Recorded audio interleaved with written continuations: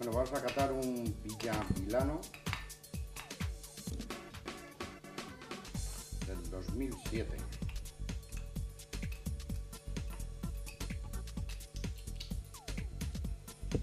Igualmente de la Ribera del Duero. Es un vino que ha estado 14 meses en barrica de roble francés unos viñedos de Pedrosa de Duero, igualmente una zona importante de, de la ribera del Duero.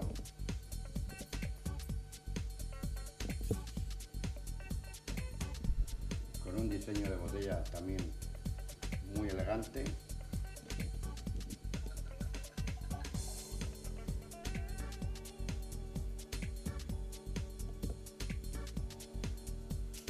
unas eh, piñas bastante importantes, muy bien cuidadas por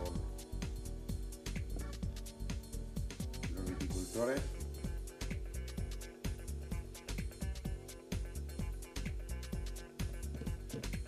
El corcho igualmente de una buena calidad.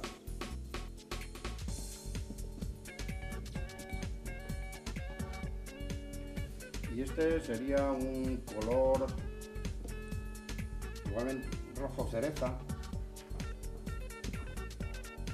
De una capa media alta con tonalidades eh, rubíes.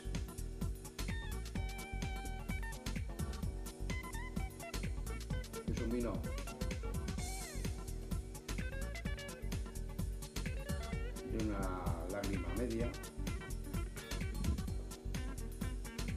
y aparecen ya tonalidades anaranjadas, incluso alguna tonalidad teja, debido igualmente a la crianza que el vino ha tenido tanto en depósito como en esos 14 meses de roble francés y húngaro y el resto en botella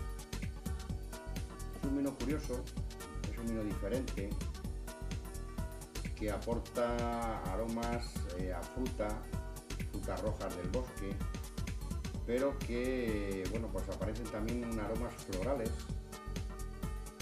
muy marcados, sobre todo en, en la nariz, notas a vainilla, aparece perfectamente el regalí, aparecen aromas especiados también alguna canela, algo de pimienta negra. Y es un vino en nariz bastante potente, con un grado alcohólico bastante importante.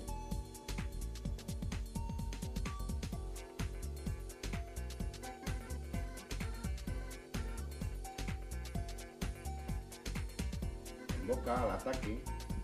Es un vino suave, agradable, redondo, persistente, con una buena acidez, que eso le hará pasar en el tiempo, que tenga una longevidad bastante importante.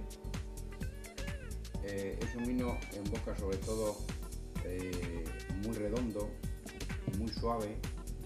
Eh, yo me atrevería a decir que es como sedoso, incluso aterciopelado, un vino muy bien conjuntado y el paso de boca ah, le hace un recorrido bastante largo con una elegancia, sobre todo en, boca. Es un vino bastante persistente, igualmente nos recuerda sobre todo a esas buenas maderas, sobre todo a las notas esas que nos daban nariz en retronasal las vainillas están muy presentes y sobre todo es un vino muy elegante y muy atractivo. gastronómicamente este es un vino que le podríamos eh, maridar, pues eh, yo incluso me atrevería eh, por su suavidad y por su estructura y por su elegancia, hay que quitar el tópico de bueno, que todos los vinos pueden ir para la carne. yo en este tipo de vino me, atrevería de incluso ponerle con un pescado, con un bacalao, al ajuarriero, mm, incluso un bacalao confitado, con boletus, o incluso un rodaballo silvestre. Por, y, y, dirán ustedes, ¿y por qué un tinto con un pescado? Pues la monotonía hay que desterrarla y en este caso por las características del vino eh, yo me inclinaría pues, por, incluso por el pescado, incluso alguna lubina confitada con cebolla y, patatas panaderas o cualquier de ese tipo. Incluso, bueno, pues eh, igualmente podría ir pues con cualquier tipo de carne a la parrilla, un buen entrecó de aliste o un chuletón de prádena, perfectamente podíamos eh, combinarla.